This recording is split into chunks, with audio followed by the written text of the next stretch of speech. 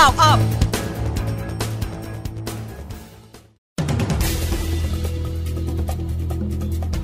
เจนาฬิกา 16 นาที นายกรัฐมนตรีขอคนไทยร่วมมือร่วมใจแก้ปัญหาสิ่งกีดขวางทางน้ำและถวายเป็นพระราชกุศล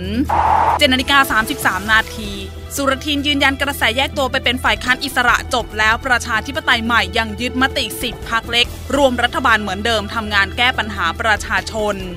เจนาฬิกา40 นาที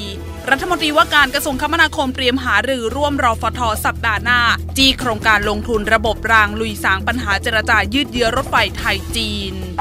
ล่าสุดเจนาฬิกา54 นาที กรมอุตุนิยมวิทยาเตือนฝนตกหนักถึงหนักมากบางแห่งภาคเหนืออีสานตะวันออกและใต้ขณะทะเลมีคลื่นสูงลมแรงกรุงเทพมหานครฝนตกร้อยละ 60